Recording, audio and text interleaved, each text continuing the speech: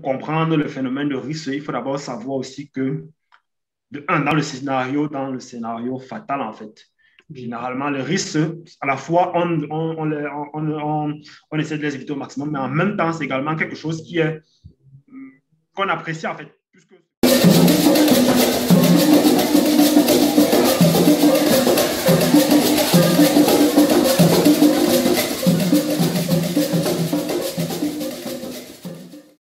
On se rend compte que euh, on observe parfois, et dans la plupart des cas, des fissures dans les maisons, des fissures, par exemple, dans les killers qui sont dans les caves.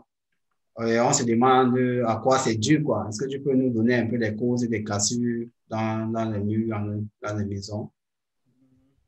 Oui, donc pour parler, c'est un thème très intéressant non, au niveau de ce, ce thème de, de risque, risque, c'est comme ça qu'on appelle ce thème-là. Bon, ce qu'il faut savoir, c'est qu'il y a plusieurs types de risques. Et pour comprendre le, pour comprendre le phénomène de risque, il faut d'abord savoir aussi que, de un, dans le scénario, dans le scénario fatal, en fait, généralement, le risque, à la fois, on, on, on, on, essaie de les éviter au maximum, mais en même temps, c'est également quelque chose qui est qu'on apprécie, en fait, puisque ce qu'on recherche lorsqu'on utilise un matériau, lorsqu'on veut parler de la science des matériaux en thème on parle, il y, a, généralement deux types de matériaux qu'on utilise quand on parle. Dans les matériaux qu'on appelle près de et les matériaux qu'on appelle ductiles. Quoi. sont les matériaux qui se fritent un peu comme, euh, comme le verre, quoi. C'est-à-dire que tu, euh, tu cognes dessus, là, et puis ça se brise en mille morceaux.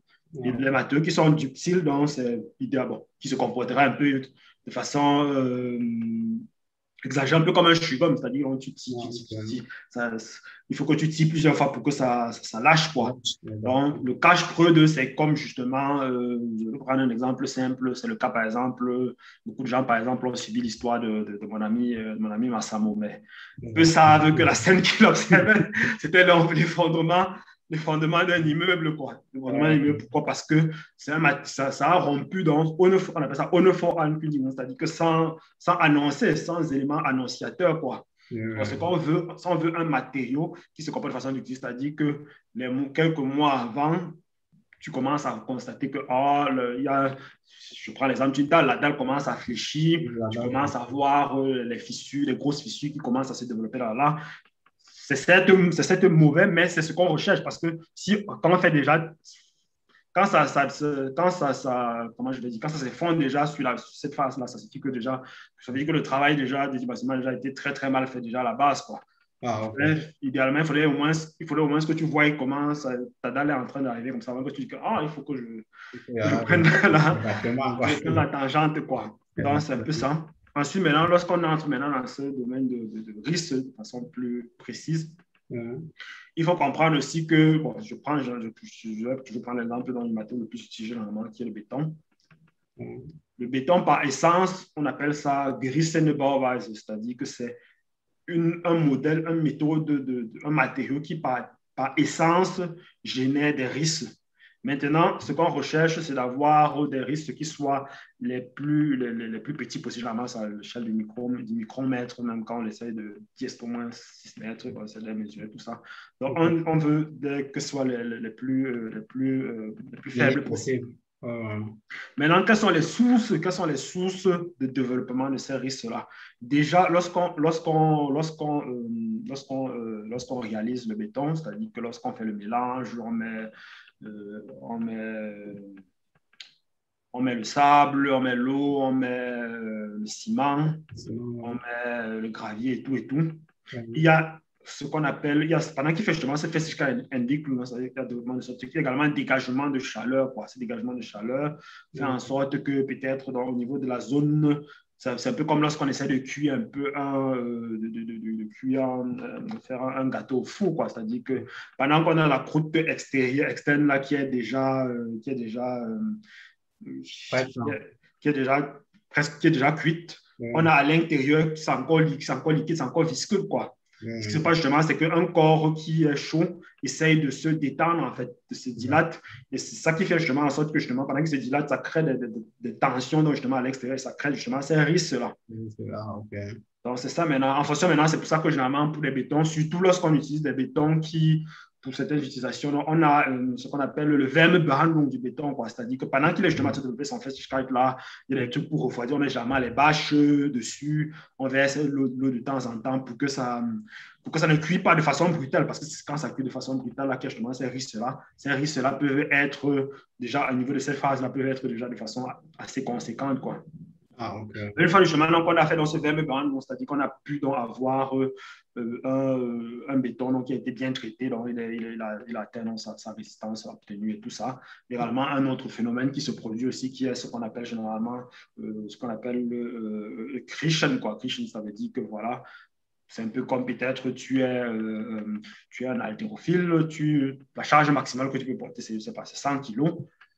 Si on te donne 110 kilos, tu ne pourras pas les porter du tout. Maintenant, si on te donne 80 kilos, tu pourras soulever 80 kilos, mais tu ne peux pas rester éternellement. Euh, tu peux porter éternellement 80 kilos. Il y a, à mesure, ça va, il y a la fatigue. Chaque matériau se fatigue, comme l'être humain également. Cette fatigue qui s'installe, la tension augmente et ça peut également créer également des, des, des, des risques Bon, tout ce dont j'ai parlé dans les calculs, même lorsqu'on dimensionne, tu comprends tous ces trucs en compte. On se dit que voilà, on veut un matériau peut-être qui aura maximum des risques, je ne sais pas, de tel nombre de, de, de, micromètres, de tel nombre de millimètres, je ne sais pas trop.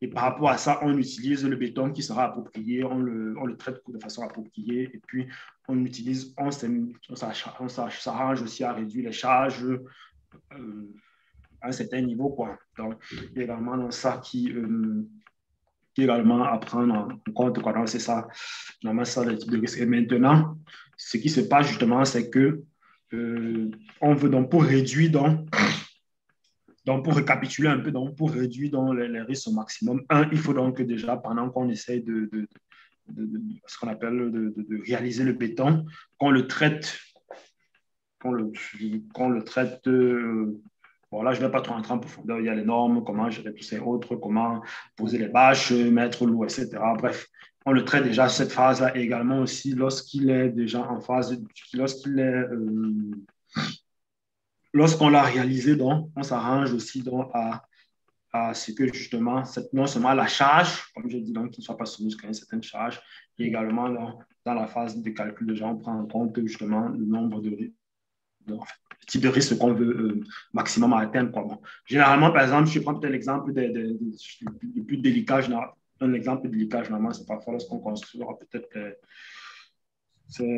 c'est quel event de là. Donc, on se dit, par exemple, que voilà, on veut peut-être le maximum. Que, et c'est toujours statistique, en fait. Statistiquement, on se dit que statistiquement, le mieux, s'il a. Euh, doit, euh, doit, doit, avoir peut-être euh, maximum tel nombre de micromètres, c'est-à-dire la fissure maximum doit avoir tel nombre de trucs. Ça veut dire que si peut-être on se dit, on essaie donc de, de, de, faire, euh, de mesurer les risques, sans risque peut-être dessus qu'on observe, on constate peut-être que 95% sont en dessous de ce truc. Ça signifie qu'on a bien dimensionné, ça signifie que ça a été fait comme on le souhaitait au départ. Quoi. Ah, Puis également, également, la, également, un autre truc, que, puisque quand je parle du béton, par exemple, c'est il faut comprendre que c'est lorsqu'on lorsqu'on essaie de penser à la genèse du matériau, ce qu'on fait, c'est qu'on est allé dans une carrière, carrière de, sable, de gravier, tout ça, là, on a concassé le matériau pour un truc. Et les mêmes phénomènes naturels qui se produisent, c'est-à-dire le fait de l'eau qui s'infiltre dans la roche, qui après maintenant, dans les, sous l'effet du gel, par exemple, dont l'eau qui s'est infiltrée dans la roche euh, devient, euh, devient, euh, se transforme en glace, donc ça, ça veut s'étendre et puis ça, ça, explose. Quoi, donc ça crée donc justement aussi ces risques-là et autres. Quoi, donc également, le type également, c'est de protéger aussi euh, la structure contre les intempéries de la nature. Quoi. Bon, bref, si tu as des questions encore plus là-dessus, Non, c'est super, super que tu, tu l'expliques ainsi. Quoi. Ça veut dire qu'il y a certains calculs qui se font en amont. Quoi. Mm-hmm. Parce que bon, nous, on se dit que non, quand la maison, là, on voit seulement juste un architecte qui dessine le maçon ou bien le bas ingénieur vient juste voir comment monter et c'est fini, quoi. Mais là, mm-hmm. tu, nous montres bien évidemment qu'il y a des calculs en amont qui se font. Mm-hmm. Là, il faut pouvoir regarder la statique du bâtiment et pouvoir calculer quelles sont les charges. Comme un bâtiment n'est même pas indéfini, ça veut dire mm-hmm. que chaque bâtiment a une vie. Ça veut dire que donc, pour, une, pour un bâtiment, on va se dire que c'est peut-être 50 ans, bien 50 à 70 ans de vie en fonction des bâtiments. Oui, justement, comme tu as justement si bien dit, généralement, on, on envisage lorsqu'on, puisque mon objectif, c'est également, c'est quand on parle de vie dont de produit, quoi. Donc, on pourrait, aucun bâtiment de toute façon n'est éternel, c'est-à-dire que quand on voit peut-être ces bâtiments d'ici là, ici là, qui ont 200 ans, 300 ans d'âge, ce n'est pas qu'on a conçu ça il y a 300 ans et qu'on a laissé comme ça. On a toujours constaté qu'il y, y, a toujours ce dingue mal chose tous les 50 ans, tous les X années en général, il y a des grands travaux de, de, de réhabilitation qui sont faits. En général, le scénario de dimensionnement qu'on fait généralement, c'est qu'on envisage que pendant 50 ans, le bâtiment ne va pas nécessiter de grands travaux de réhabilitation, c'est-à-dire que ce sera juste peut-être des chenilles, des trucs peut-être tu vas juste remplacer un peu la, peinture ici et là, donc juste des petits travaux, quoi, mais en moyenne, tous les 50 ans, un, bâtiment nécessite euh, une, euh, une réhabilitation, quoi. ah, ok, c'est ce qu'ils appellent ici Ken Sani, quoi. Tu dis? C'est ce qu'ils appellent Ken Saniron, quoi. Ça veut dire... Non, voilà. Ah, ok. Parce qu'après, il y a toujours, euh, tu vas, on va arriver, on va arriver peut-être en sommet, on va voir peut-être la charpente en bois, on va voir que les lattes commencent déjà à fléchir, il y a les risques, de, la stabilité elle, déjà elle commence à être un peu compromise et tout ça, il y a peut-être des trucs qu'il faut remplacer là, ou bien il y a euh, des risques qui euh, qu'il faut, euh, qu'il faut, qu'il faut fermer ici et là, ou bien parfois c'est un truc qu'il faut racler et refaire. Ce sont des travaux qui sont inéluctables parce que euh, ce n'est pas. Matériau n'est éternel, quoi, en fait. Exactement. Ah, ok. Maintenant, j'aimerais bien aussi, pour ceux-là qui partent peut-être visiter des maisons qui sont, qui sont déjà, je vais dire, peut-être plus de 30 ans, est-ce que euh, tu as peut-être un tips pour nous? Ça veut dire, quand on arrive, quand on voit par exemple un risque ou bien, ça veut dire une fissure, est-ce mm-hmm. qu'on peut déterminer si la fissure si est déjà grave ou bien c'est juste un début de fissure que bon, ça peut encore tenir même 30 ans? Ou bien est-ce qu'il y a cette possibilité-là de pouvoir connaître euh, cet état, quoi? Mm-hmm. Oui, c'est possible de faire ce qu'on appelle un good acton du bâtiment. Euh, de l'observer de fond en comble, d'abord de, façon visuelle, constater que voilà, euh, comme j'ai dit, de façon visuelle ou bien un premier, le premier truc de base que quelqu'un peut faire, c'est déjà cogner simplement le mur. Quoi. Tu peux, ah, ça, ça, tu peux un peu. ce n'est pas toujours vrai à tous les cas, mais ça permet d'avoir une idée. Le mur, si est porteur, bien c'est juste une cloison là-dessus. Quand c'est déjà un mur porteur, ça signifie que c'est c'est extrêmement important pour la stabilité du bâtiment. Cela signifie que si ce mur cède, ça s'écroule comme un, comme un château de cartes. Quoi. Donc là, les risques qu'il y a là-dessus sont vraiment à prendre avec beaucoup de, de considération, beaucoup de pincettes, quoi, parce que euh, c'est vraiment très délicat. Bon, maintenant, il y a également l'épaisseur, en fait. OK. Si, si, ça a déjà une certaine épaisseur qui est, euh, commence déjà à, à, ça signifie que voilà, soit si s'il n'y en a pas beaucoup, ça signifie qu'il y a également des, acteurs sur le marché qui ont ces produits, quoi, des produits juste pour fermer, pour fermer ces, ces risques-là. Comme ça peut, si c'est déjà, euh, on constate que s'il n'y a rien à faire, il faut carrément euh, soutenir temporairement la zone, casser complètement et refaire un autre. Quoi. Ça, peut être, ça, nécessite carrément de faire ce, style de, ce style de travaux-là. Quoi. Donc, au niveau des matériaux, au niveau des trucs, donc regardez également, il y a, comme j'ai dit, ça, il y a un truc qu'on appelle, pour, je prends l'exemple un peu du béton armé, donc il y a un phénomène naturel qu'on appelle la carbonat, carbonatisation, la carbonatisation qui se passe naturellement, c'est-à-dire que le fait qu'il soit soumis à ces appareils fait qu'à partir d'un certain moment, il y a, euh, sous l'action de l'eau, c'est de l'air, ça s'infiltre dans, dans, le, par, les, par les petites intestins qu'il y a dans le niveau de tout cet infiltre-là. Lorsque ça atteint le, le, lorsque ça atteint le, lorsque ça atteint la, la, le, le, le, ferrage qui est à l'intérieur, là, donc, ça entraîne dans sa corrosion, ça entraîne sa corrosion, ça signifie que ça, ça devient plus, moins performant. Et puis, à un moment donné, si on ne fait pas attention, ça peut, ça peut céder. Quoi. Donc, c'est important de regarder. Il y a des, il y a des, des trucs, même pour le festival dont tu parlais, il y a des. des, comment je vais dire ça? Il y a des, tu dis? Des produits. Il y a des produits, il y a également des trucs sur le terrain qui permettent de, de savoir à peu près le festival de trucs en fait. Ah, ok. Vraiment sur le marché, de faire des petits tests, comme j'ai dit là. On se on, on ça avec euh, euh la, on appelle ça la phénoltaïne. Et puis, en fait, la façon dont ça réagit, ça permet de détecter qu'il ah, y a la présence de tel, de tel agent chimique ici, là, qui peut être dangereux, ou bien ah, il n'y en a pas. Comme c'est possible également de racler, de prendre des, des, des probes et d'aller en laboratoire les, euh, de façon plus approfondie. Quoi. Donc, c'est possible vraiment de connaître euh, de façon euh, claire dans l'état des lieux. Quoi. Ah, ok. Non, c'est super, quoi. C'est super. Je crois que là, chacun, chacun a trouvé une réponse à sa question, quoi. Donc, pour ceux-là qui visitent les biens immobiliers et qui se plaignent d'avoir des, des, fissures dans les murs, je crois que là, mm. une réponse a été donnée, quoi. Et on va alors maintenant partir sur le deuxième point, sur le deuxième point qui est celui de la présence de la moisissure dans les domiciles, quoi. À mm-hmm. quoi, est-ce que tu peux nous dire à quoi c'est dû?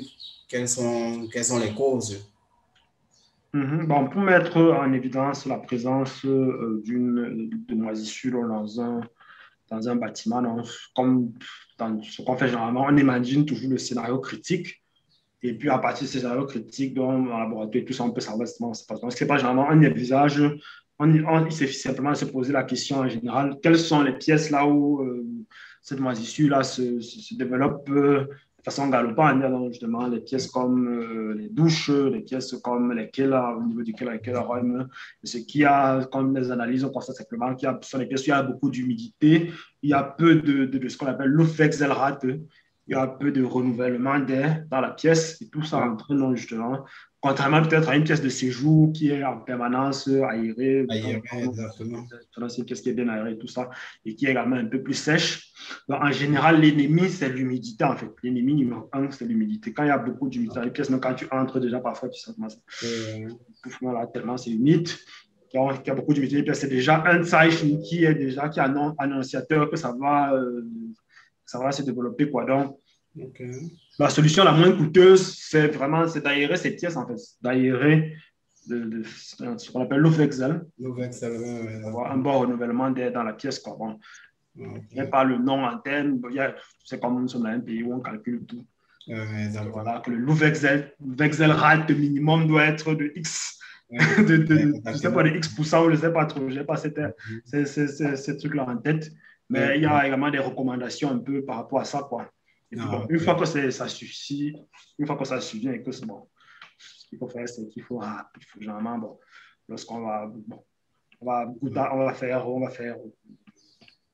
Euh, on va venir regarder un peu de trucs, mais la finalité, c'est toujours, c'est comme quand on a une plaie, c'est-à-dire on racle la partie malade. Quand on racle la partie malade, l'objectif vraiment, c'est de racler tout en fait. Exactement. Si on ne rappelle pas tout, on laisse une partie, après ça va encore continuer à se, euh... à, se développer. Euh, et, puis, euh, bah, ça ne sera pas du tout joli, joli. Quoi. Donc, on, on racle dans cette partie-là et puis on la remplace par une autre couche. Quoi. Donc, ah, c'est ce qu'il fait. Ou alors, également, il y a également des matériaux, j'entre toujours un peu toujours dans le sens de Wirtschaftlichkeit, en fait. Plus, pour dire vrai, sur le marché, il y a, il y a en fait, des gens, il y a sur le marché des matériaux qui permettent de, qui permettrait en fait d'avoir. Euh, parce qu'il y a par exemple la notion d'hydrofuge. La notion d'hydrofuge, c'est un, matériau qui, un peu comme, qui est plastique, un peu comme le plastique. Lorsque tu verses l'eau sur le plastique, ça, ça, ça, dégouline juste. Ça ne, ça ne pénètre pas en fait. Contrairement peut-être au béton ou bien les roches ou bien même le mort avec. Lorsque tu mets, ça absorbe parce que c'est poreux. Mm L'eau s'infiltre là-dessus. Donc, c'est possible également de rendre la couche hydrofuge ce qui va faire en sorte que l'eau qu'on va projeter là ne va pas s'infiltrer dans, euh, dans le matériau. Quoi. Mais c'est également des coûts en plus. Exactement, là c'est clair. Mhm. Ah, ok. Non, là c'est, là, c'est clair, quoi. Et j'aimerais aussi euh, ajouter que, bon, parfois, parfois aussi pour les anciennes maisons, il y a parfois aussi, vous avez des fissures, par exemple. Euh, bon, vous avez, par exemple, la moisissure qui apparaît Mhm. bon, que le, par exemple, il y a un tuyau à l'intérieur d'un mur qui a, été, bon, qui a été blessé ou bien qui a été endommagé. Et c'est dû à cet écoulement d'eau là dans le mur, quoi, qui donne cette apparition de moisie là. Donc, je crois que bon, chacun peut, peut simplement chercher aussi la cause. Quoi. Donc, si on mhm. constate, on peut aussi chercher la cause. Peut-être c'est une fissure d'un mhm. tuyau, d'un tuyau de canalisation et essayer de prouver cela. Quoi. Et bon, comme tu l'as dit, aussi des appareils pour pouvoir mesurer, quoi. Pour pouvoir mm-hmm. mesurer aussi le Luftfeuchtigkeit et connaître que, bon, est-ce que le mur, le mur est vraiment à une bonne température bien si ça, ça passe aussi, quoi, au niveau du Luftfeuchtigkeit, quoi. Mm-hmm. Donc, je crois que ce sont des éléments, je crois que ce sont des éléments que plusieurs se posent. J'ai eu certaines questions dans ce sens. Comment mm-hmm. connaître que, que bon, que la maison est, en bon état, s'il y a la mhm. moisissure, je crois que là, tu as éclairci mm cause de cela. Quoi. Donc, tous ceux ont eu des, des réponses à leurs questions. Quoi. Donc, nous arrivons comme ça au thème, au thème de cette interview. Je ne sais pas si c'est dit à, à une conclusion là, à donner avant qu'on ne clôture entièrement. Bon, je peux seulement dire que c'était l'échange était très instructif. J'espère vraiment que les différents éléments que j'ai déroulés pourront aider les uns et les autres. Donc, euh, il faut, lorsqu'on se lance dans un investissement immobilier qui est vraiment un investissement assez conséquent, il y a beaucoup de choses auxquelles il faut, il faut penser. Et donc, justement, non, comme j'ai dit, les risques, contrairement, non, c'est vrai que c'est un truc qui est négatif, mais c'est également une propriété souhaitable d'un matériau parce qu'on souhaite, comme je, on souhaite un matériau qui se comporte de façon ductile. Ductile signifie qu'il ne rompt pas euh, du jour au lendemain, qu'il rompt, il nous annonce qu'il est en train de, qu'il va bientôt rompre. Et c'est pour notre sécurité, c'est même important en fait. maintenant, une fois qu'on a fait ça, maintenant, on essaie donc de, de, dimensionner le matériau de telle sorte qu'ils puissent, étant donné que ces matériaux, généralement, les matériaux pour eux qu'on utilise donc, pour construire, sont les matériaux qui, par essence, par le terme de Gerisenneberweise, c'est-à-dire que le risque indique est inévitable. On essaie juste de les contrôler et de les maintenir jusqu'à un, un, certain niveau qui reste, qui est, qui, ne, qui est acceptable, en fait, qui ne va pas entraîner. Euh,